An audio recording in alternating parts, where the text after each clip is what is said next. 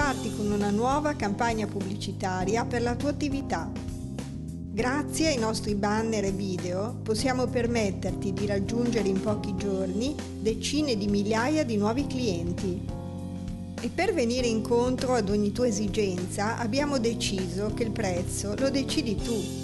Chiama sin da ora questo numero o scrivi a spot chiocciolaocchiopavese.it riparti con noi, riparti con Occhio Pavese. Buongiorno a tutti gli amici di Occhio Pavese, oggi vi parliamo di due appuntamenti che coinvolgeranno la nostra provincia nelle prossime settimane, nello specifico sabato 8 aprile alle ore 17 presso l'Associazione Culturale Voghera in via Felice Cavallotti 16 e il giorno successivo domenica 9 aprile alle ore 11 presso la Feltrinelli di Pavia. Che cosa succederà? Ci sarà una presentazione di un libro, il libro è intitolato Le belle addormentate ed è scritto da Antonio Mocciola, l'autore di questo libro è proprio in collegamento telefonico da Napoli con noi. Antonio, buongiorno. Buongiorno, presente.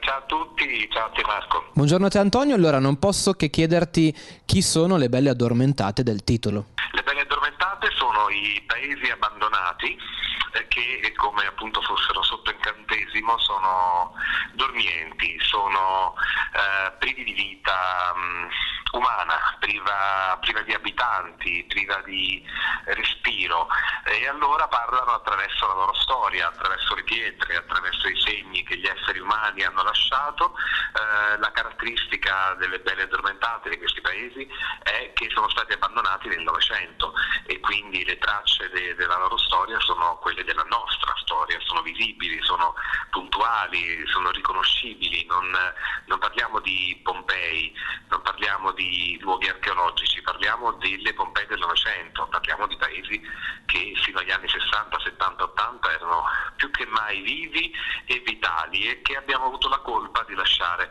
andare alla deriva per una serie di motivi, naturalmente ognuno diverso dall'altro, che sia un evento catastrofico come un terremoto, un'alluvione o che sia uno spopolamento o altri casi un po' più particolari, sono sempre riconducibili purtroppo alla stoltezza dell'uomo. Ecco, io so che per la realizzazione di questo libro tu hai davvero percorso l'Italia in lungo e in largo, no? come si suol dire, dalle Alpi alla Sicilia. Eh, sei passato anche dall'Oltrepo Pavese o più in generale dalla provincia di Pavia oppure no? Sì, sì, sì, sì sono passato, sono passato perché purtroppo eh, province che hanno delle montagne e, e quindi parlo di Appennino, Subappennino o anche Alpi, hanno fenomeni di spopolamento e di abbandono, per cui anche il, la provincia di Pavia ha la sua bella addormentata che nella fattispecie si chiama Rovaiolo. Eh, la cui storia è davvero singolare, devo dire, perché eh, parliamo di un paese eh, molto dopo Varzi, quindi sì. siamo quasi al confine con, con l'Emilia e, um, Cortedezzo, Corbesassi, insomma da, da, quelle parti lì, proprio la punta estrema della provincia di Pavia. Eh, Rovaiolo fu abbandonata non per un evento che è uno dei casi che racconto sempre quando vado in giro per l'Italia a presentare il libro, non per un evento catastrofico reale, ma per un evento annunciato. Si annunciò una frana eh, e eh, fu quindi evacuato il paese, eh, fu costruito nei pressi di Rovaiolo Nuovo, la frana c'è stata ma a Rovaiolo Nuovo beffando dunque i sismologi o, o, o, i geologi dell'epoca che avevano eh, sbagliato eh, allarme, ecco, un falso allarme. Eh, un caso abbastanza singolare anche se eh, parliamo degli anni 50-60, non era infrequente che eh, si verificassero casi di questo genere. Poi è chiaro, eh, di, di, di, posti ancora più piccoli ce ne sono anche in provincia di Pavia, però nel libro ho cercato di privilegiare eh, intanto le storie, il sapore di una storia per cui un paese viene abbandonato poi anche di distribuirli sul territorio, per cui dalla Valle d'Aosta alla Sicilia ogni, ogni regione ha eh, i suoi esempi, i suoi allarmi falsi o reali che siano. E poi ci sono quegli, anche gli allarmi inascoltati, cioè di paesi che erano sotto il radar di una certa attenzione e che invece hanno sottovalutato il rischio e sono finiti purtroppo eh, nel mio triste elenco, poi nel libro ho cercato anche di trovare degli spunti di riflessione, non è soltanto una di, una sequela di, di sciagure, ci sono anche probabilmente dei tentativi da parte mia di eh, fare innamorare il lettore di questi paesi che sono stati sfrattati da tutte le guide turistiche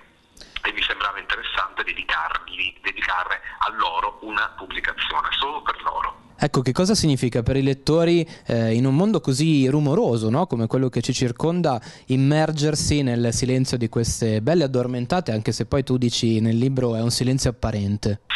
Significa abbandonare le certezze del turismo facile, cioè del turismo che eh, attraverso i vari TripAdvisor, che amo ovviamente anch'io, ci mancherebbe, ehm, un turismo che si lascia imboccare come col cucchiaino per quello che deve fare, dove deve andare, dove deve, eh, dove deve eh, spendere.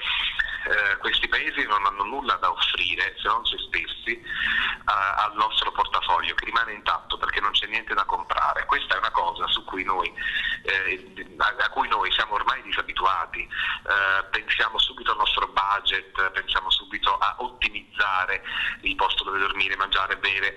Ehm, questi paesi sono esattamente l'Italia capovolta, cioè l'Italia che non ha niente da vendere ed è anche per questo che sono fuori dalle guide. Quindi il, turisma, il turista diciamo più, ma mettiamo anche più snob, perché no, comunque più eh, ricercato ecco, nei propri gusti, può trovare qui esattamente quello che chiede, e cioè qualcosa da osservare, da ascoltare.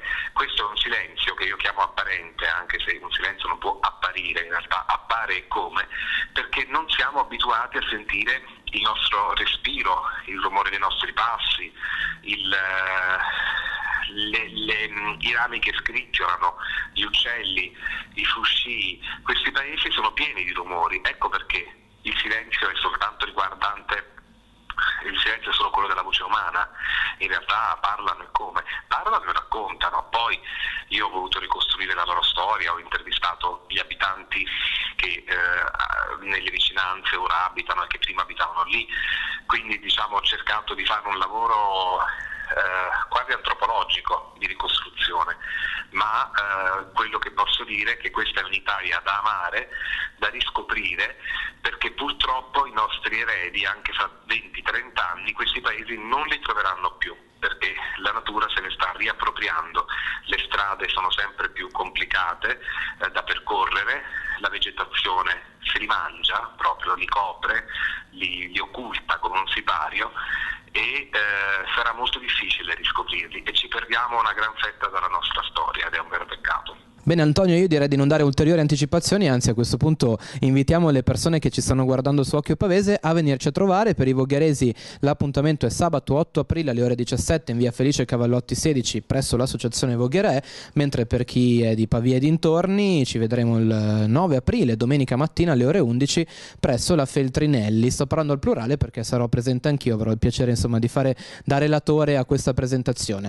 Ehm, tra l'altro all'evento vogherese ci sarà anche il presidente del GAL che introdurrà proprio eh, l'appuntamento, il presidente del GAL Nicola Adavastro e so che in entrambe le occasioni ci saranno delle sorprese top secret, insomma ci saranno degli attori. Eh, sono delle, vabbè possiamo anche dirlo, insomma delle letture drammatizzate eh, da due attori, un ragazzo e una ragazza molto bravi eh, che renderanno il tutto un po' più vivo perché sai noi ci limitiamo a scrivere ma poi quando bisogna narrare io mi affido a delle voci importanti, ecco. Giusto così. e allora, allora grazie mille Antonio ci vediamo quindi ad aprile.